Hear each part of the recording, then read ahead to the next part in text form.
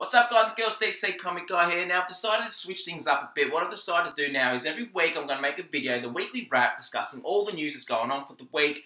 Uh, once all the TV shows start, I will be doing reviews of the shows, explaining characters and storylines, so don't worry about that. Um, I will also drop bonus videos during the week uh, discussing competitions uh, for ways for you to get more entries into competitions. I have just posted up the August competition. So make sure you check on that. Make sure you subscribe to my YouTube. Make sure you like my Facebook page because it's just easy for me to contact you guys for the competitions. Uh, you need to like my Facebook page to win the competitions as well. So please jump over and do that. You can find those links in the description below.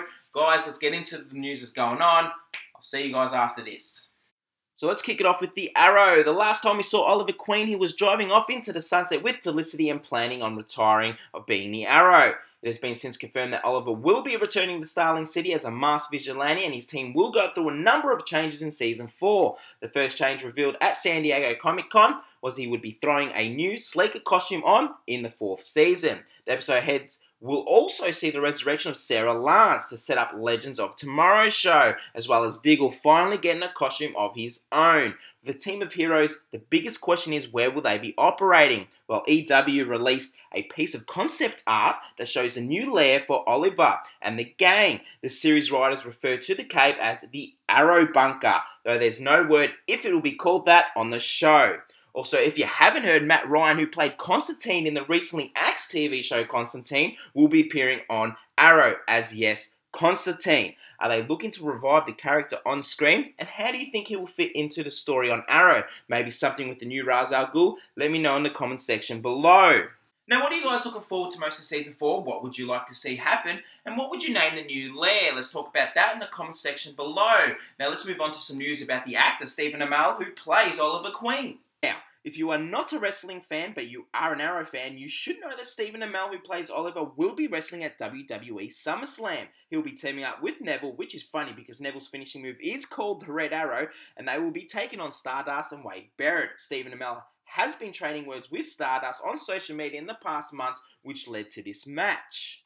Now, me personally, I am a WWE fan. I'm looking forward to this. I would love to see Stephen Amell come out in the Arrow outfit. It would have been even better if he could do what Shawn Michaels done at WrestleMania 12 when he came down with the zip line flying to the ring. I'd love to see Stephen Amell in his Arrow outfit just flying down to the ring, but unfortunately, the circumstances that happened many years ago with the death of Owen Hart, they probably won't do that. But I'd just love to see him come into the ring in his Arrow outfit and just wrestle Stardust. It'll be awesome. And It is going to be a tag team match.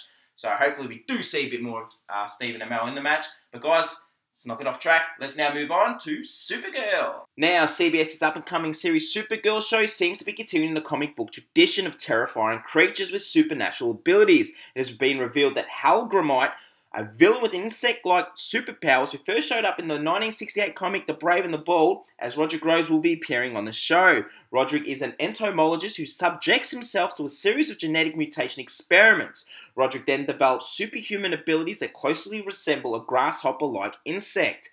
He possesses super strength and supercharged leaping abilities and is capable of weaving a cocoon prison around his victims. Now, this may leave a possibility for an Arrow crossover. In the comics, Hellgrammite has gone head to head with both Green Arrow as well as Black Canary, and this could be a great way to tie the two shows together. CBS does have a deal with the CW to do one crossover show with Arrow, so this could be the way. Supergirl premieres Monday, October the 26th on CBS. Now, that's all we have for the weekly wrap. Thanks for for watching, guys. Please subscribe to my YouTube account. Please like me on Facebook, www.facebook.com forward slash the DC Comics Guy. You can find those links in the section below.